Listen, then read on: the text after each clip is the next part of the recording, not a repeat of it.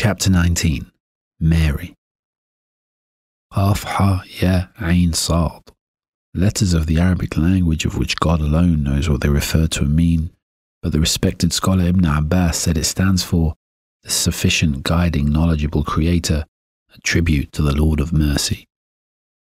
This is a reminder of the mercy of your Lord towards Zachariah, his servant who called on him, secretly asking, Lord, I have never prayed to you in vain, even though my hair is grey and my bones have weakened.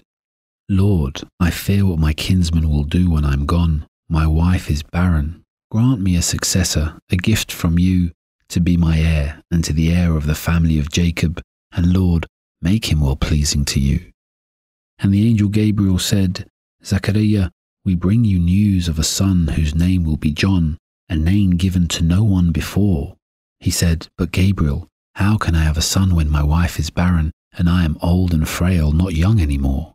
And Gabriel replied, Your Lord says, It is easy for me. I created you before your human form was manifest. And Zachariah believed in what would occur. He had faith in his Lord. True faith in the Lord is best. So Zachariah said, Gabriel, tell me, what is the sign through which my Lord will show that my wife will have begun her pregnancy? And Gabriel replied, a time will come when you cannot speak for three days and nights. That is the sign of when it will be. Then Zachariah went out into his sanctuary and told his people to praise God continuously. And when John was born, we told him, John, hold on to the scripture firmly. And while John was still a boy, we granted him wisdom, tenderness from us, and purity. He was devout and sincere, kind to his parents, not domineering, and never acted rebelliously. Peace was upon him the day he was born, the day he died, and will be upon him the day he is raised again, and mentioned too in the Quran the story of Mary, so that it is well explained. She withdrew from her family to a place in the east side of their house and secluded herself away, and we sent her our spirit, the messenger Gabriel, and he came to her in the form of a man, and she turned to him to say, I seek the Lord of mercy's protection against you if you fear him, then keep away. But he said, I am a messenger from the Lord, announcing you will have a son, pure in every way. She said, How can I have a son when no man has touched me? I have not been unchaste. And he said, God says it is easy for me.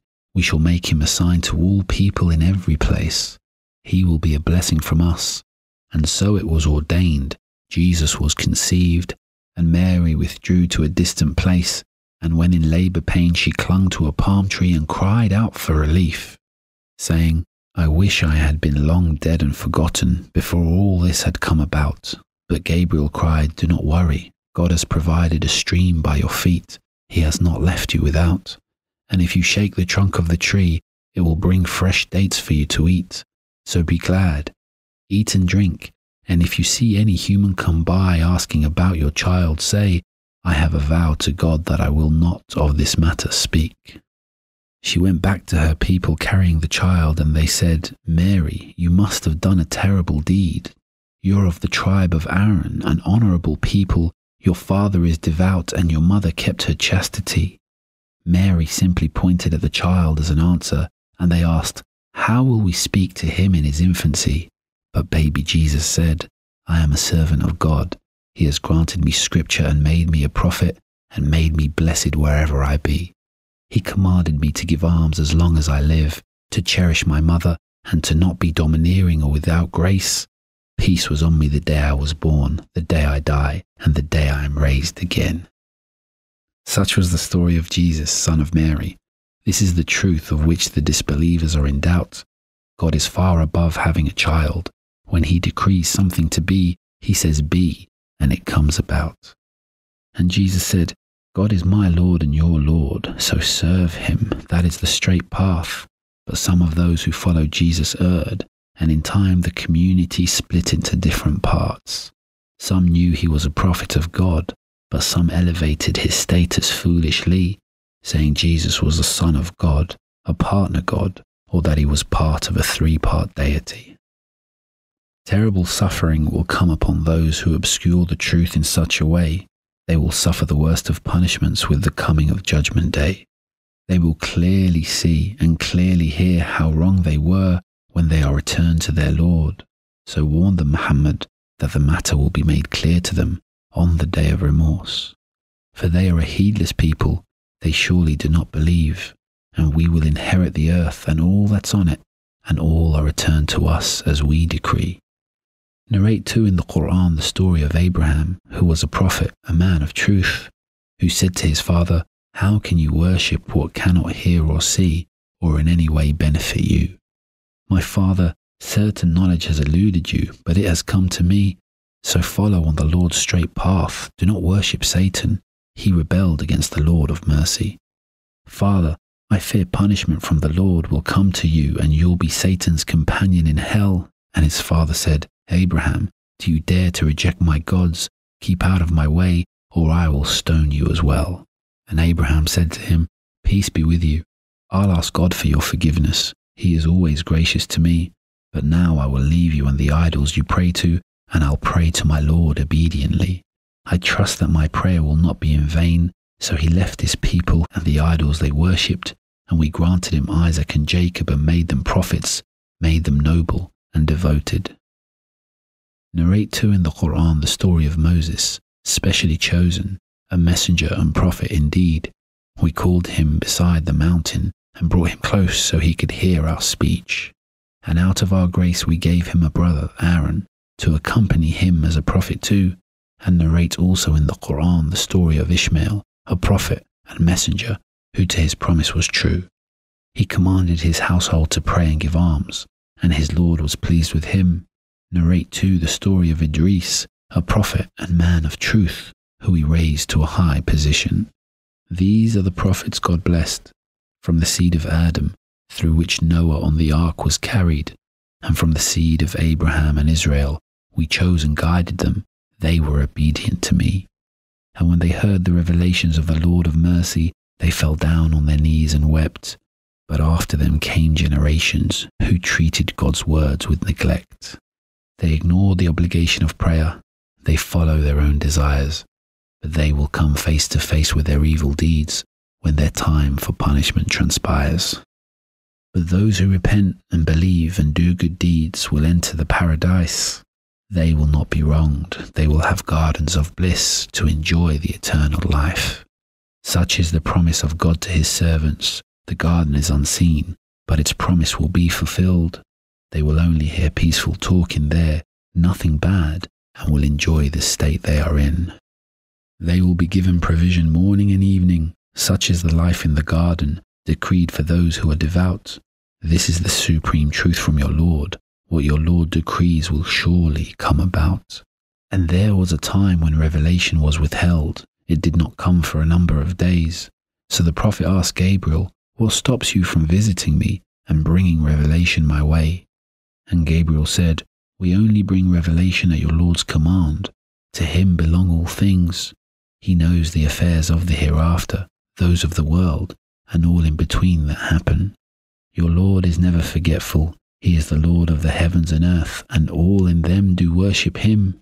Be steadfast in your worship. Is there any equal to God, or of his title, true Lord? Is there any that are also deserving? And some disbelievers mock, What? Once I am dead, I'll be brought back to life again? Does he not realize that we created him before he had a human form and before he was given a name? I created him when he was just a drop of sperm, and he will be returned to me. So as I gave him life this first time, I can surely resurrect him with ease. Prophet, we shall gather such people and the devils together just outside of hell and put them on their knees, and then seize from each group the one who is most obedient to the Lord of mercy. We know best who deserves to burn in hell, but every one of you will see its flames as they pass over hell on the bridge towards paradise, and only the righteous will be saved.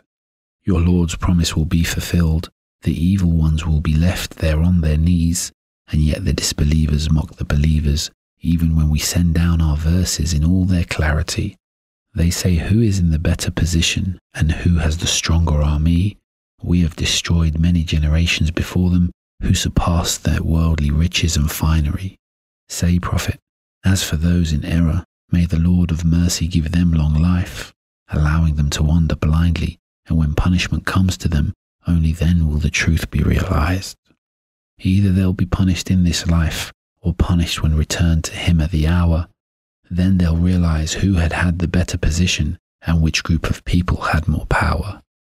But God gives more guidance to those who are guided, and good deeds of lasting merit are best. They are more rewarding in God's sight. Yet have you considered the one who rejects, the one who turns away from our revelations arrogantly to say, I'll be given wealth and children certainly? Has he received knowledge of that, or a promise to get them from the Lord of mercy?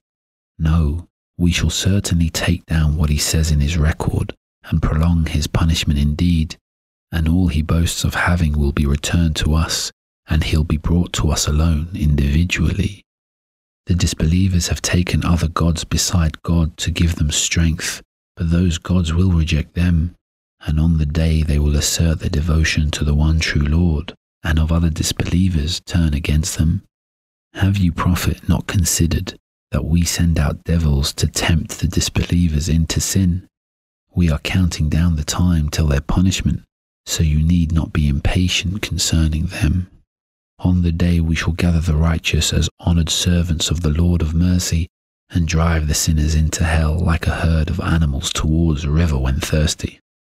And none will have power of intercession except those to whom God gives permission. He is the King, He is the Lord, the Master of the day of decision. The disbelievers claim that God has offspring. How terrible is the thing they say! It almost causes the heavens to be torn apart and the earth to split and the mountains to crumble away.